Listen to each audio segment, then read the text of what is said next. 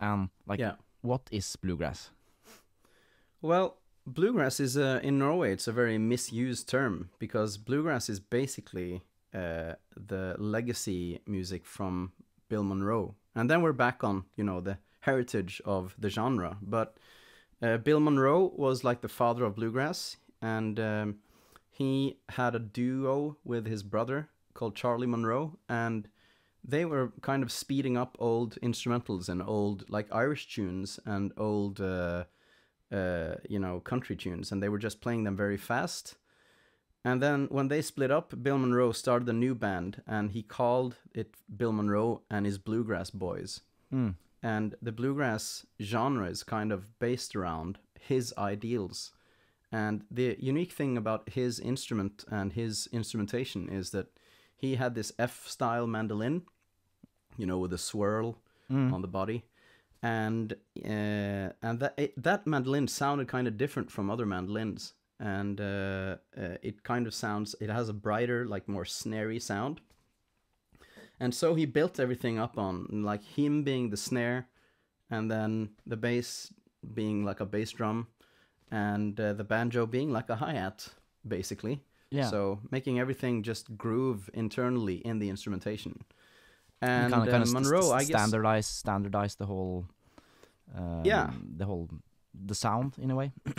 Yeah, it, it became like a, a perfect match of different sounds. And, you know, like mixing bluegrass music, if you're going to do it very traditionally, Mm-hmm. it's kind of, it makes sense because you have the bass on the bottom and then you have the guitar and it kind of interlaps. And then above that, you have the banjo. And then above that, you have the mandolin.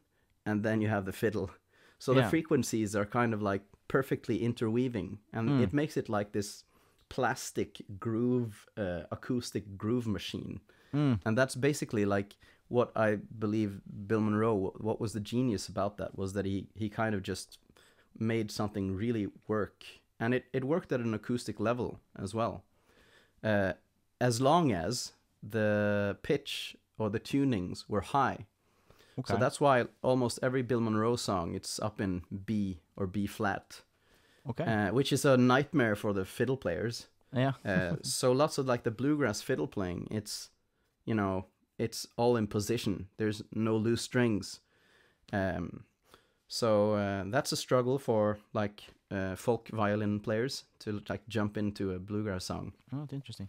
Uh, But yeah. would th- would they also incorporate like improvised solos and stuff uh, at that point?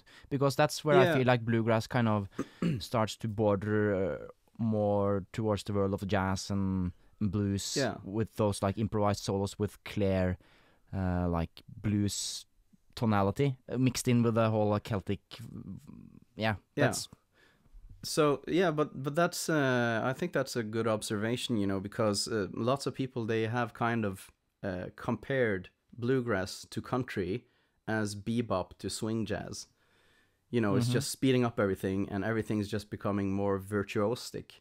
But uh, one thing about bluegrass that I think is different, at least on the older tunes, is that the element of improvisation wasn't that, uh, you know, uh, not everyone in the group would improvise. There would never be a guitar solo. Uh, the mandolin solo would usually be like the melody that he played in his certain way to bring out everything on the instrument. The banjo player would usually have his break, and that was you call it. Like a banjo solo is like a break. Uh, and uh, the fiddle player would, mm, you know, often maybe be the one improvising. And the reason for that is that they recruited fiddle players from the jazz scene. Uh, so lots of you know jazz fiddle players that weren't able to get jobs, they were like lying and saying that yeah I'm a bluegrass fiddler. Yeah. Like uh, Kenny Baker is one of the most uh, famous ones, and there's like this famous story about him, you know, lying his way into the bluegrass boys. Uh, so the fiddle players they would they would usually have some like improvisational chops from from their schooling in jazz. Hmm. Uh, so it's not until later, you know, that the the banjo players started to like become really free. Uh, uh, I th- I guess like Bela Fleck and that, you know, around the mid '70s, Mm. something started to happen with Bela Fleck and a couple of other players, Alan Munde, Tony Trischka, stuff like that. They started to like break out of the the sort of strict um, what do you say Yeah. Um, foundation of the bluegrass formula. Yeah. Like, wha- at, at at what point do, does it stop being bluegrass? I suppose is that like a Yeah, that's like a philosophical question. yeah, it's like it's, uh, the question about what's jazz and what's not jazz. Yeah, I mean, if you add a drummer, like- is it is it still bluegrass? No, no, uh, uh, but it's like uh, lots of people they just have um, um, they have this uh, urge to to you know define bluegrass as you know within the confounderies of uh, Bill Monroe's uh, style, and if you do something else, it's like it is bluegrass, but it's kind of second stream bluegrass, third stream bluegrass, and that's what they call it. Uh, and then you have the term newgrass. Uh, so yeah, so it's uh, and newgrass is kind of defined that it's improvisational and maybe that they're jamming uh, lots more than playing tunes.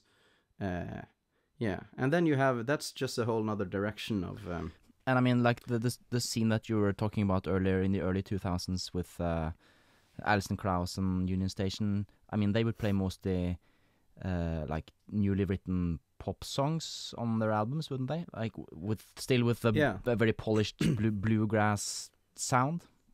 Yeah. So they would write, uh, I think, uh, in my opinion at least, they would write new tunes or they would write arrangements to older tunes with kind of like smart sounds and they would do like mm, some pop tricks to, you know, to you know, reach a wider audience. Uh, but the players in the bands uh, there, they would be like uh, Nashville, like uh, studio musicians, and uh, some of them from like the old bluegrass scene. Mm. Alison Krauss herself, she was um, widely known as a fiddle player uh, before she was uh, discovered more as a, like a brilliant uh, lead Yeah. singer. Mm. So yeah. So, but that was like major influence on us in Norway, and and you know it was just a wave of different bands that started playing bluegrass at the same time, Mm. and um so